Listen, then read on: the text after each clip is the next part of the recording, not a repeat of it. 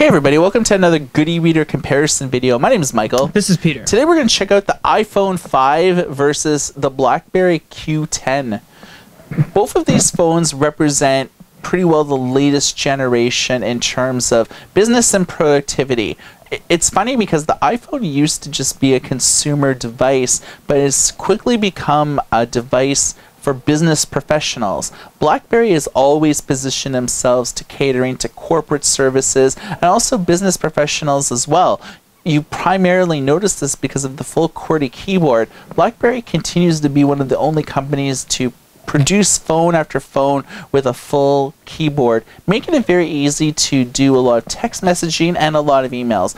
As you see from the specs between these two phones, there are a lot of similarities the thing that strikes me is the resolution. The iPhone 5 has 1136 by 640, while the Q10 only has 720 by 720. So in effect, it is a square screen versus a screen that's more of a rectangle.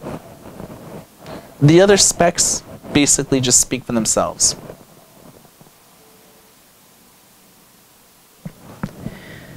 So we're going to look at a few things here. We're going to look at Amazon Kindle, which is uh, the e-reading app from, uh, well, it's called Kindle, but it's Amazon's e-reading app.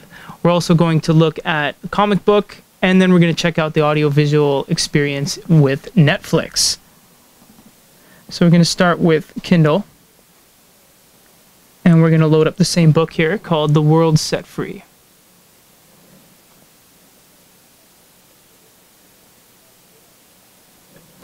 So you can see that the screen colors are a little bit different. Obviously, they're running different uh, technologies.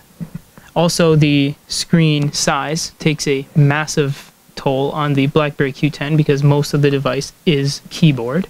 But you do get same kind of text changes and all that. So we'll just briefly touch on those. You get text up, text down. Everything changes really nicely on the iPhone You get the nice little animations. You see the fades.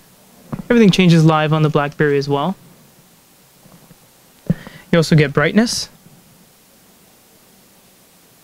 Sepia, black, white, or sepia, depending on which way you want to say it. Uh, you do get a little bit more options here, like line spacing. We don't have line spacing on the uh, Q10 at all the Q10 is actually running an emulated version of Android because the BlackBerry 10 has an Android emulator. A lot of the apps that we're showing you actually aren't available on BlackBerry App World, so you'll have to sideload the apps. If you want to learn how to sideload apps, check out our YouTube channel, youtube.com slash goodereader, or check out our actual BlackBerry 10 App Store at apps.goodereader.com uh, for the full skinny. You can make different colored highlights on the uh, iOS version. You can also make notes. You can see the keyboard side by side as well. And that's pretty much the experience uh, for reading books. I mean, neither of these two devices should be your first choice to read books on, but if you had to do so, they both handle them as well as they can. The one thing I finally want to mention about the Kindle app is because this is the Android version, you can actually purchase books on your BlackBerry Q10. With the iPhone, you can't actually purchase books via Amazon. You actually have to go to the physical website, log into it, buy books, and then have the books synced directly to your device. So that's fairly important. So it, it bears mentioning. Right. Next, we're going to look at Comixology, and we're going to look at a Street Fighter comic.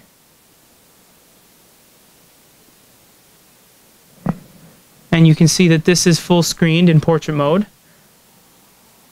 And you can see that because the screen is basically one-to-one aspect ratio which means it is square you get these big borders on either side.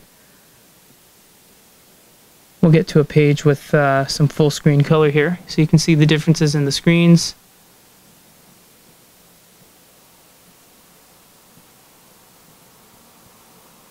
transitions are both really smooth on these, so um, there's more than enough processor speed and RAM to really handle this properly.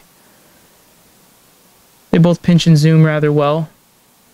The BlackBerry Q10 is a little slower on the um, maneuvering, only because it's a side-loaded app, whereas this is actually from uh, the uh, Apple Store. Yeah, so it's a native app.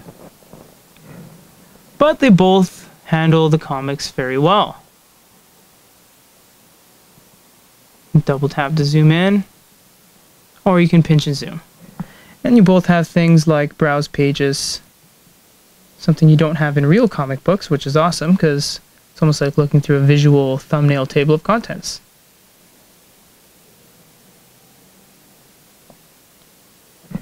So that's pretty much the comic book experience on both these devices. I think it's time to check out the video experience to see what the big difference is between audio and video. So we're going to load up Netflix on both here. Once again, this is a side-loaded Android app, so if you keep it open in the background, it is going to want to refresh on you.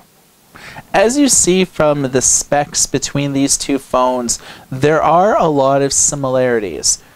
The thing that strikes me is the resolution. The iPhone 5 has 1136 by 640 while the Q10 only has 720 by 720 so in effect it is a square screen versus a screen that's more of a rectangle.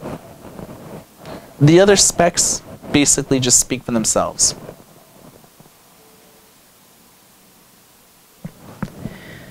So we're going to look at a few things here. We're going to look at Amazon Kindle, which is uh, the e-reading app from, uh, well, it's called Kindle, but it's Amazon's e-reading app. We're also going to look at comic book, and then we're going to check out the audiovisual experience with Netflix.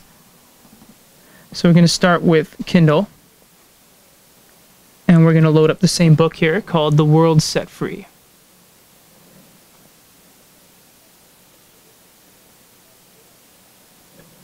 So you can see that the screen colors are a little bit different. Obviously, they're running different uh, technologies. Also, the screen size takes a massive toll on the BlackBerry Q10 because most of the device is keyboard. But you do get same kind of text changes and all that. So we'll just briefly touch on those. You get text up, text down. Everything changes really nicely on the iPhone You get the nice little animations. You see the fades. Everything changes live on the BlackBerry as well. You also get brightness. Sepia, black, white, or sepia, depending on which way you want to say it. Uh, you do get a little bit more options here, like line spacing. We don't have line spacing on the uh, Q10 at all. The Q10 is actually running an emulated version of Android because the BlackBerry 10 has an Android emulator. A lot of the apps that we're showing you actually aren't available on BlackBerry App World, so you'll have to sideload the apps. If you want to learn how to sideload apps, check out our YouTube channel, youtube.com slash goodereader, or check out our actual BlackBerry 10 App Store at apps.goodereader.com uh, for the full skinny. You can make different colored highlights on the uh, iOS version. You can also make notes. You can see the keyboard side by side as well. And that's pretty much the experience uh, for reading books. I mean, neither of these two devices should be your first choice to read books on, but if you had to do so, they both handle them as well as they can. The one thing I finally want to mention about the Kindle app is because this is the Android version, you can actually purchase books on your BlackBerry Q10. With the iPhone, you can't actually purchase books via Amazon. You actually have to go to the physical website, log into it, buy books, and then have the books synced directly to your device. So that's fairly important. So it, it bears mentioning. Right. Next, we're going to look at Comixology, and we're going to look at a Street Fighter comic.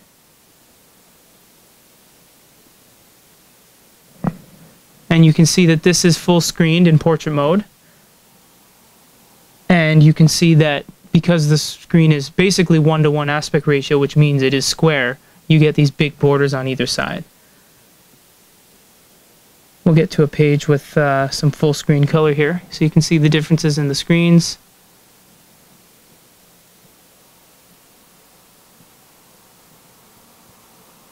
transitions are both really smooth on these, so um, there's more than enough processor speed and RAM to really handle this properly. They both pinch and zoom rather well. The BlackBerry Q10 is a little slower on the um, maneuvering, only because it's a side-loaded app, whereas this is actually from uh, the uh, Apple Store. Yeah, so it's a native app. But they both handle the comics very well. Double tap to zoom in or you can pinch and zoom. And you both have things like browse pages, something you don't have in real comic books, which is awesome because it's almost like looking through a visual thumbnail table of contents.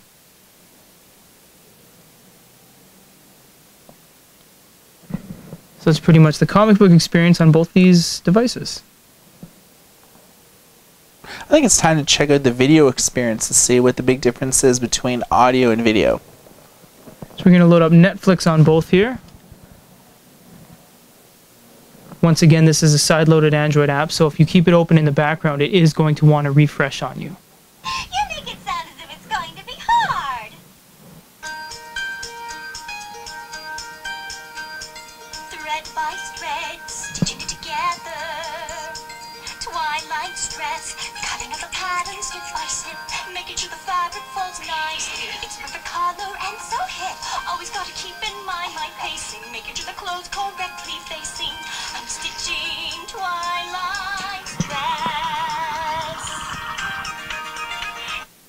basically just showed you My Little Pony because it's got a lot of color, it's got a lot of movement, it's got you know little sing-alongs happening there. Give you good, guys a good experience on what both of these bring to the table. Um, sound quality wise, the Q10 kind of gets trumped by the uh, stereo speakers on the uh, iPhone 5. Plus, the screen size is definitely different as well. You can see that this is locked to the one mode, whereas uh, when you turn on Netflix on the iPhone, it automatically goes to landscape mode. So it's something you can't actually change. Even if you change the orientation and all that, it won't. Uh, it won't change. Last thing before we wrap up here is showing you guys the App Store and the BlackBerry world. So this will be BlackBerry's take on their main ecosystem, and this will be uh, Apple's as well. Yeah, you can see that they're totally laid out completely differently. Uh, Apple has their own way of doing things. BlackBerry has their own way of doing things. Uh, with Apple, they have the App Store and iTunes, whereas BlackBerry has uh, amalgamated all of their apps, but also video and audio within their singular App Store. So you're not going to multiple places. You're doing everything within, you know, uh, the the entire app. So you can see here that you have the scrolling carousel, a lot of different apps. Everything's pretty well carousel-esque. Uh, with the BlackBerry App Store, it's a little bit different. You're pretty well just like moving things up and down. But you, if you if you click on a specific category, you can kind of like refine your searches like a little bit more. Uh, BlackBerry App Store is a mix of native apps written for the BlackBerry platform, but also emulated apps where they're based on the Android application converted to BlackBerry. There's really no way to filter that out, whereas with Apple, everything was natively written for the iPhone uh, platform that you would see in the App Store here, so you know what you're getting. The big differences between these two is that the Apple apps are a little bit more refined because they're all written for the iPhone in mind. You're never going to have any problems with things lagging or uh, kind of crappy app quality, but you will encounter that from time to time with the BlackBerry ecosystem. When it comes to email, texting, being productive, it's really hard to beat the BlackBerry Q10. The physical keyboard makes typing, replying, and, if you write a lot of emails and text messages a day, you're really going to want to go with that phone. Wh- What we really wanted to show you in this comparison video is anything, most of the apps that the iPhone can run, the BlackBerry could also run as well. They run in a bit different ways because of this the square screen and a bit of the lower resolution, but it really makes up for it with its productivity, BlackBerry balance. Um, the one really thing that I like about BlackBerry 10 in general is the ability to be able to delete all emails with one button. With the iPhone, you actually have to delete each email one by one. There's really no bulk delete function, which if you get a lot of emails like I do, I sometimes get between 100 and 200 emails a day. With the iPhone, I'm going to have to delete every single one manually. With BlackBerry, I just click it, delete all prior, it's all done. Peter, your final thoughts. I like both of these devices. Um, they're actually both pretty highly priced as well. So um, you know, six seven ninety nine, six seven ninety nine, depending on your market. Uh, I've always liked Apple for the way that even though their specs aren't the highest, it's only got one gig of RAM. It's running dual core compared to most Android quad cores. Everything always works and everything works well. It's always really smooth. And I mean, everything that was made for this phone under the App Store, iTunes, it was made for this phone. It was made for iOS. So it's going to work and it's going to work flawlessly. And the build quality of Apple has always been really good. Blackberry, on the other hand, not so much with the whole multimedia experience. Not too many apps on BlackBerry World, but for businesses, typing, BBM, emails, WhatsApps, phone calls, can't be beat. It's the phone for that. It's got a physical keyboard.